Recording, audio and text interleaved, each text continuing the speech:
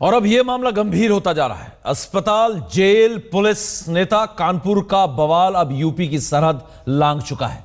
यहाँ के doctor, SP विधायक इरफान सोलंकी के खिलाफ हड़ताल पर हैं, जो और अब इस हड़ताल में कई शहरों के डॉक्टर भी शामिल हो गए हैं। कार्रवाई के लिए आईएमए ने 48 घंटे का वक्त दिया है, जिसके बाद देश भर में हड़ताल की चेतावनी दी गई है।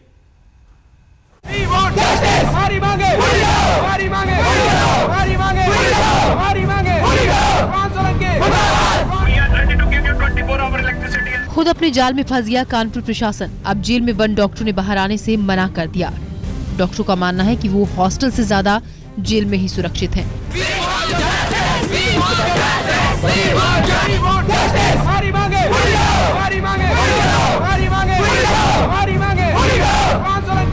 गुस्सा एसपी नेता इरफान सोलंकी की दबंगई के खिलाफ है और शिकायत पुलिस कार्रवाई को लेकर भी। जेल में बंद किए गए 24 डॉक्टर। 300 डॉक्टरों ने सौंपा इस्तीफा। कानपुर में आज बड़ी रैली।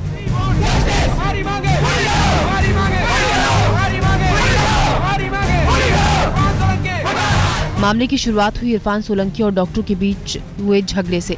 बीच बचाव के लिए पुलिस आई, लेकिन डॉक्टरों का आरोप है कि पुलिस ने कानपुर मेडिकल कॉलेज के छात्रों की बेरहमी से पिटाई की।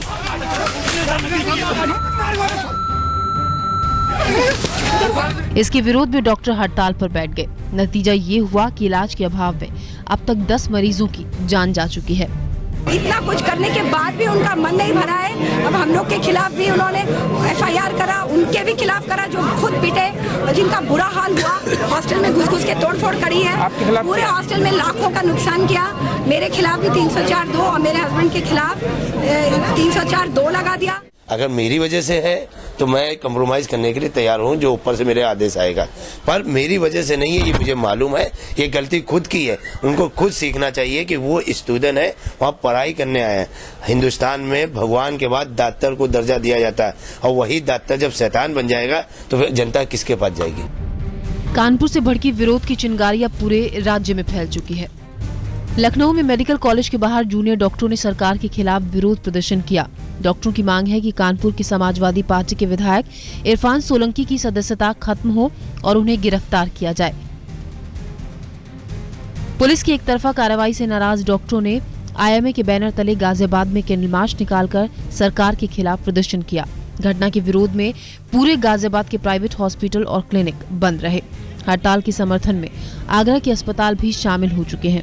जूनियर डॉक्टरों ने मेडिकल कॉलेज में जमकर हंगामा किया। तालाबंदी की और पुलिस के खिलाफ नारेबाजी होती रही। एसएन मेडिकल कॉलेज की चिकित्सा सेवा ठप होने से मरीज़ काफ़ी परेशान हैं। उन्हें इलाज भी नहीं मिल पा रहा है। मरीज़ वापस जा रहे हैं।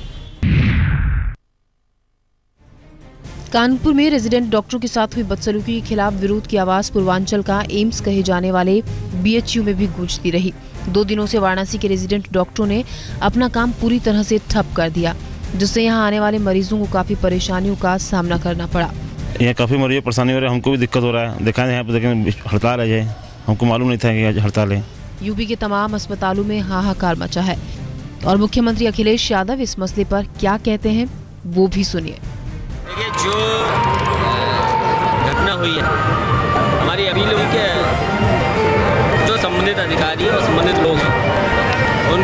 बातचीत हुई है।